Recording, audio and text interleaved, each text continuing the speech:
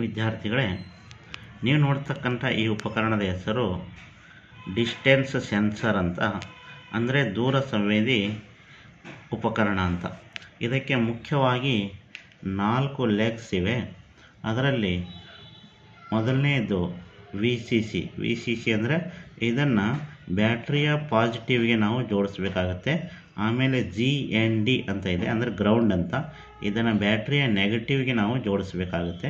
ಅಂದರೆ ಮೈನಸನ್ನು ಬ್ಯಾಟ್ರಿಯ ಮೈನಸನ್ನು ಇದಕ್ಕೆ ಕೊಡಬೇಕು. ಒಂದು ಟ್ರಿಗರ್ ಪಾಯಿಂಟ್ ಇದೆ ನಡುವೆಂದು. ಇನ್ನೊಂದು ಎಕೋ ಪಾಯಿಂಟ್. ಅಂದರೆ ಈ ಒಂದು ಒಂದು ಕಡೆಯಿಂದ ಇದು ಆ ಒಂದು ಸೌಂಡನ್ನು ಬಿಡುತ್ತೆ. ಆ ಸೌಂಡು ಬೇರೆ ಏನಾದರೂ ಅಡೆತಡೆಗೆ ಬಡಿದಾಗ ಅದು ರಿಫ್ಲೆಕ್ಟ್ ಆಗಿ, ಅಂದರೆ ಪ್ರತಿಫಲನವಾಗಿ ಮತ್ತೊಂದು ಏನಾಗುತ್ತೆ ಅಂದರೆ ಅದನ್ನು ರಿಸೀವ್ ಮಾಡಿಕೊಳ್ಳುತ್ತೆ.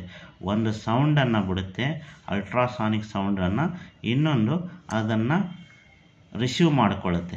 ರಿಸೀವ್ ಮಾಡಿಕೊಳ್ಬೇಕಾದ್ರೆ ಇದರ ಒಂದು ರೆಸಿಸ್ಟೆನ್ಸ್ ಅಂದರೆ ಪ್ರತಿರೋಧದಲ್ಲಿ ಬದಲಾವಣೆ ಆಗುತ್ತೆ. ಇದರ ಹಿಂದುಗಡೆ ಭಾಗ ಈ ರೀತಿಯಾಗಿದೆ. ಇದು ಈ ಒಂದು ದೂರ ಸಂವೇದಿ ಉಪಕರಣ ಅಥವಾ ಡಿಸ್ಟೆನ್ಸ್ ಸೆನ್ಸರ್ ಅಂತ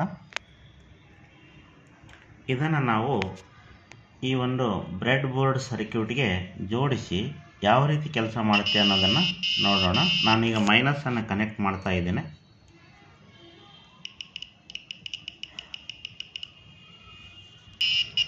ಅಂದರೆ ಬ್ಯಾಟ್ರಿಯ ಮೈನಸನ್ನು ನಾನು ಈಗ ಕನೆಕ್ಟ್ ಮಾಡಿದ್ದೀನಿ.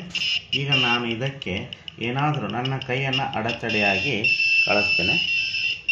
ನೀವು ನೋಡ್ಬೋದು, ಕೈ ನಾವು ಕೈಯನ್ನು ಅಡ್ಡಲಾಗಿ ಹಿಡಿದಾಗ ಸೌಂಡ್ ಬರುತ್ತೆ ಮತ್ತೆ ಕೈಯನ್ನು ತೆಗೆದಾಗ ಸೌಂಡು ಕಡಿಮೆ ಆಗುತ್ತೆ. ಇದನ್ನು ನೀವು ಗಮನಿಸಬಹುದು.